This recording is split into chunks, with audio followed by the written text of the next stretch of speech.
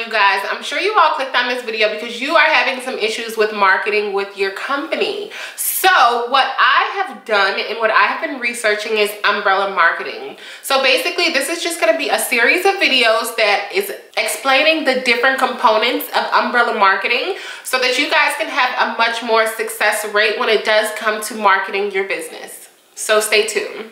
So for those of you who have no clue who I am, my name is Imani Jelena. I am the owner of Allure 96. It is a hair extension based company. So if you're interested in wholesaling, drop shipping, pre-shipping, or anything like that, check out my website. And I'm also the brand owner of ImaniJelena.co. So if you are interested in looking at some of my ebooks, some of my previous webinars, workbooks, or even if you're interested in any spreadsheets regarding profit loss sheets and all that good stuff, you can check out ImaniJelena.co, browse the website and see what you like. I do currently have an amazing sale going on, so if you are interested, go ahead and check that website out too.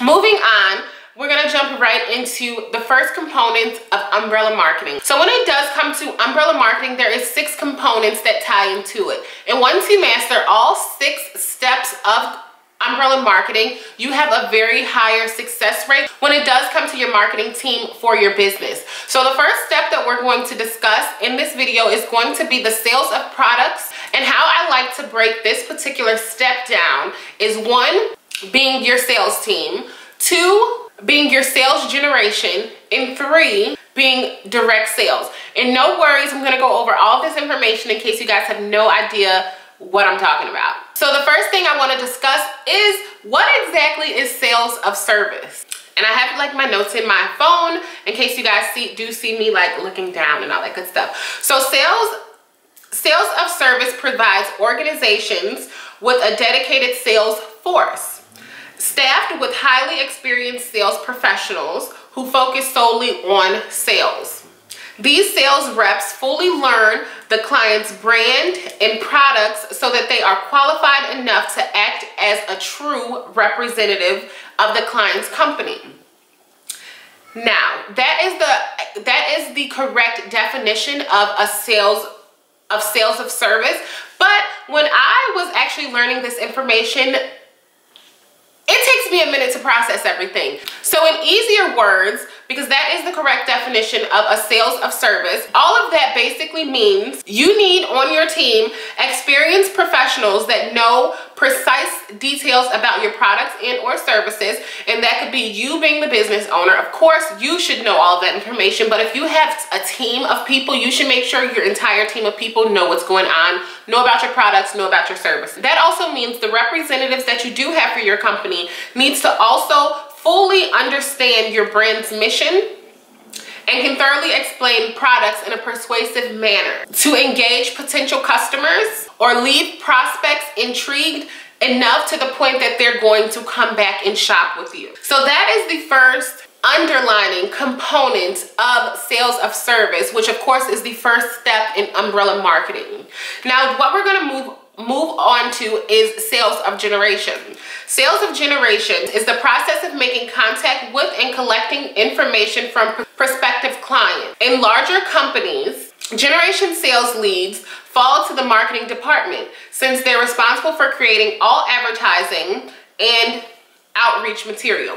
Now all of that, because that is the correct definition, all of that basically means an experienced representative studies strategic ways to get potential buyers involved. And that also means this can be done by gaining interaction via social media, increase of email marketing analytic ratios, but not limited to traffic on companies' websites. Now moving on, the last component within sales of service and or products within umbrella marketing is going to be direct sales. Direct, and this is the definition of direct sales. Direct sales is a blanket term that a variety of business forms compromised on person-to-person -person selling in locations other than retail establishments, such as social media platforms or the home of the salesperson or prospective customer. An example of that would be like an Avon sales representative.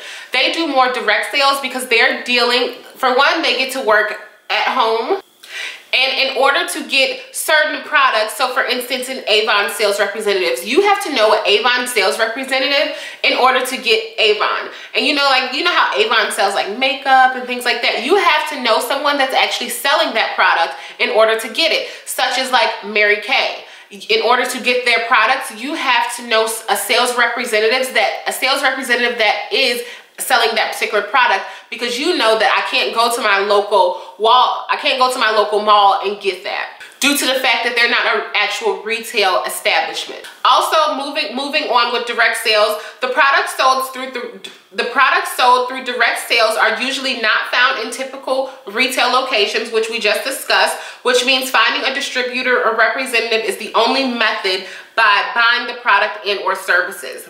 Direct sales is usually associated with party plan and network marketing companies, meaning and these are this is the question that you need to ask yourself. Will your company be online based or will you be making direct sales? Now once all of this information is mastered and or studied your first branch of umbrella marketing will be helpful because if you have a solid marketing team that fully understands the first component of sales of service and products it will potentially add value to your company by increasing awareness surrounding the actual growth of your business. So once again, this is the first step of umbrella marketing. I want you guys to rewatch this video as many times as possible until you fully understand what sales of service and or products are. Moral of the story is you need a solid team of people in order to make marketing work. So as long as your team for your business understands all the components regarding marketing, they have an understanding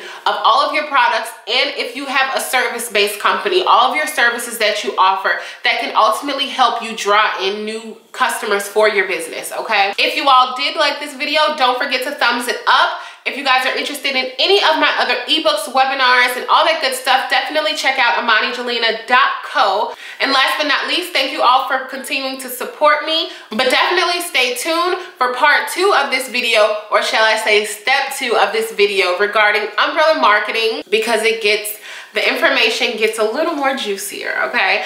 But don't forget to subscribe to this channel. Don't forget to like this video again, and I will see you guys in my next video.